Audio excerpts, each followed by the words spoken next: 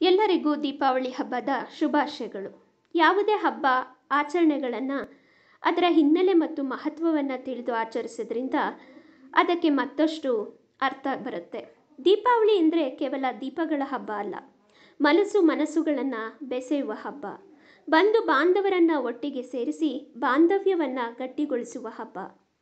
ದೀಪಾವಳಿ ವಿಶೇಷವಾಗಿ ನಾಲ್ಕು ದಿನಗಳ ಕಾಲ ಆಚರಿಸಲ್ಪಡುತ್ತೆ. ಈ ಬೆಳಕಿನ ಹಬ್ಬದಲ್ಲಿ ವಿಶೇಷ ಆಚರಣೆಗಳು ಕೂಡ ನಡೆಯುತ್ತೆ.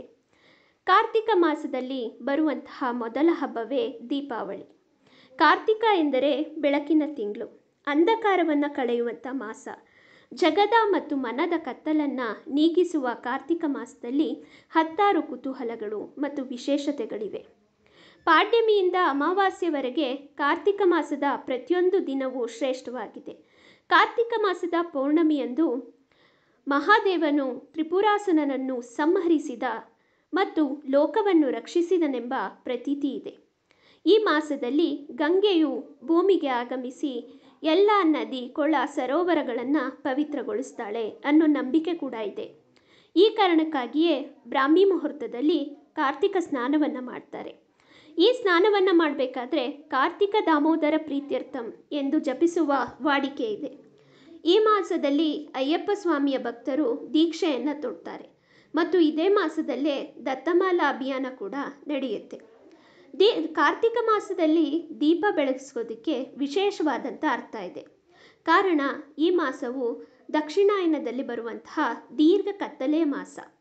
ಆಗ ಪಿತೃಲೋಕದಲ್ಲೂ ಕತ್ತಲು ಆವರಿಸಿರುವುದರಿಂದ ಈ ಮಾಸದಲ್ಲಿ ನಂಬಿ ಲೋಕದಲ್ಲಿ ಹಚ್ಚುವಂತಹ ದೀಪ ಪಿತೃಲೋಕದಲ್ಲಿರುವ ಪಿತೃಗಳಿಗೂ ಬೆಳಕು ಬೀರಿ ಅವರ ಸ್ವರ್ಗ ಪಯಣಕ್ಕೆ ಮಾರ್ಗದರ್ಶನ ಮಾಡುತ್ತದೆ ಅನ್ನೋ ನಂಬಿಕೆ ಇದೆ. ಹೀಗಾಗಿ ಈ ಮಾಸದಲ್ಲಿ ದೀಪವನ್ನು ಬೆಳಗಿಸೋದ್ರಿಂದ ಪುಣ್ಯ ಸಿಗುತ್ತದೆ ಎಂಬ ನಂಬಿಕೆ ಆಸ್ತಿಕರಲ್ಲಿದೆ.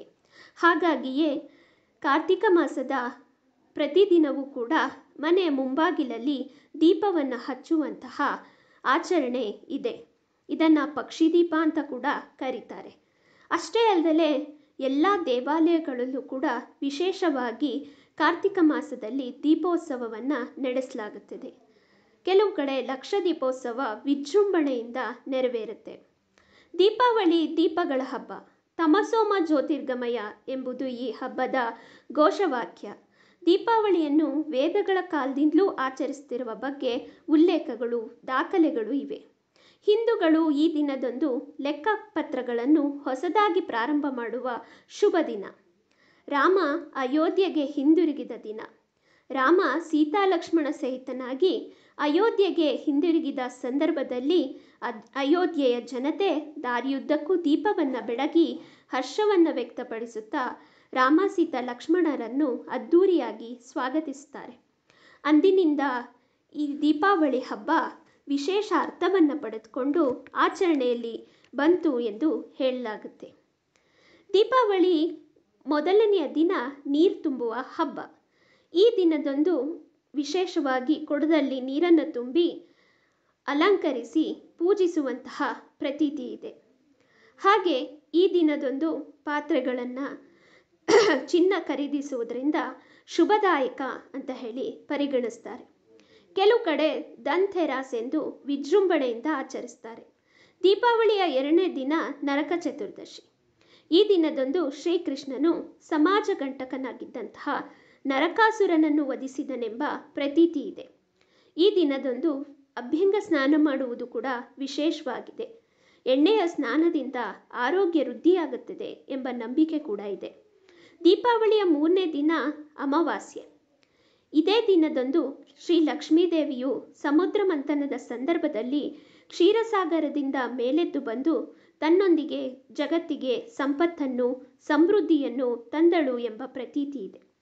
ಇದರ ಜ್ಞಾಪಕಾರ್ಥವಾಗಿ ಲಕ್ಷ್ಮೀ ಪೂಜೆಯನ್ನು ಎಲ್ಲ ಧರ್ಮ, ಧರ್ಮೀಯರು ವಿಜೃಂಭಣೆಯಿಂದ ಆಚರಿಸ್ತಾರೆ. ಈ ದಿನದ ಮತ್ತೊಂದು ವಿಶೇಷ ಅಂದರೆ ಗೋಪೂಜೆ.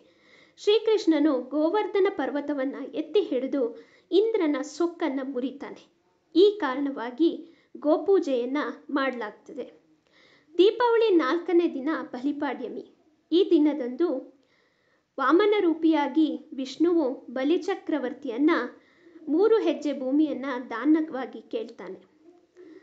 ಆ ವಿಷ್ಣುವು ತ್ರಿವಿಕ್ರಮನಾಗಿ ಬೆಳೆದು ಎರಡು ಹೆಜ್ಜೆಯಿಂದ ಭೂಮ್ಯಾಕಾಶವನ್ನು ಅಳತೆ ಮಾಡಿ ತನ್ನ ಮೂರನೇ ಹೆಜ್ಜೆಯನ್ನು ಬಲಿಯ ತಲೆಯ ಮೇಲಿಡ್ತಾನೆ. ಹಾಗೆ ಮೂರನೇ ಹೆಜ್ಜೆಯನ್ನು ಬಲಿಯ ತಲೆ ಮೇಲಿಟ್ಟು ಮುಂದಿನ ಮನ್ವಂತರದವರೆಗೂ ಕೂಡ ಅವನನ್ನು ಪಾತಾಳಕ್ಕೆ ತುಳಿತಾನೆ. ಕಾರಣ, ಬಲಿ ಚಕ್ರವರ್ತಿ ಇಂದ್ರ ಪದವಿಗಾಗಿ ತಪಸ್ ಮಾಡ್ತಿದ್ದ. ಮತ್ತು ಮುಂದಿನ ಇಂದ್ರ ಪದವಿ ಅವನಿಗೆ ಸಿಗುವಂತಹ ಅವಕಾಶ ಕೂಡ ಇತ್ತು. ಆದರೂ ಕೂಡ ವಿಷ್ಣು ಬಲಿ ಚಕ್ರವರ್ತಿಗೆ ವಿಧಿ ನಿಯಮವನ್ನು ಜ್ಞಾಪಿಸಿ ಅವನನ್ನು ಪಾತಾಳಕ್ಕೆ ಚಕ್ರವರ್ತಿಯನ್ನಾಗಿ ಮಾಡ್ತಾನೆ. ಪ್ರತಿ ವರ್ಷ ಕಾರ್ತಿಕ ಮಾಸದ ಶುದ್ಧ ಪಾಡ್ಯಮೆಯೊಂದು ಬಲಿ ಚಕ್ರವರ್ತಿ ತನ್ನ ಪ್ರಜೆಗಳನ್ನು ನೋಡಲು ಭೂಲೋಕಕ್ಕೆ ಬರುತ್ತಾನೆ ಎಂಬ ಪ್ರತೀತಿ ಇದೆ. ಈ ದಿನದಂದು ಎಲ್ಲ ಕಡೆ ಬಲೀಂದ್ರನ ಪೂಜೆ ಮಾಡಿ ಬಲೀಂದ್ರನನ್ನು ದೀಪದ ಬೆಳಕು ಬೀರಿ ಸ್ವಾಗತಿಸುವ ಪ್ರತೀತಿ ಬೆಳೆದು ಬಂದಿದೆ. ಹಾಗಾಗಿಯೇ ದೀಪಾವಳಿ ಆಚರಿಸುವ ಕುರಿತು ಆಧ್ಯಾತ್ಮ ಚಿಂತಕರ ಪ್ರಕಾರ ನಮ್ಮ ಮನದೊಳಗಿರ್ತಕ್ಕಂಥ ಅಜ್ಞಾನವೇ ಕತ್ಲು. ಜ್ಞಾನವೇ ಬೆಳಕು. ಅಜ್ಞಾನ ಅನ್ನೋದು ಅಸುರ ಅಂದರೆ ರಾಕ್ಷಸ. ಜ್ಞಾನ ಎನ್ನುವುದು ಸುರ ಅಂದರೆ ದೇವತೆ. ಈ ಕಾರಣದಿಂದಲೇ ನಮ್ಮ ನಡೆ ಕತ್ತಲಿನಿಂದ ಬೆಳಕಿನಡೆಗೆ ಸಾಗಬೇಕು ಎಂಬುದು ಈ ಹಬ್ಬದ ವಿಶೇಷಾರ್ಥ.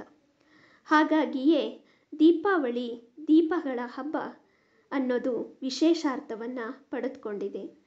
ಜ್ಞಾ, ಅಜ್ಞಾನವನ್ನು ತೊಲಗಿಸಿ ಜ್ಞಾನವನ್ನ ಬೆಳಕನ್ನು ಬೀರುವಂಥ ಹಬ್ಬವೇ ದೀಪಾವಳಿ.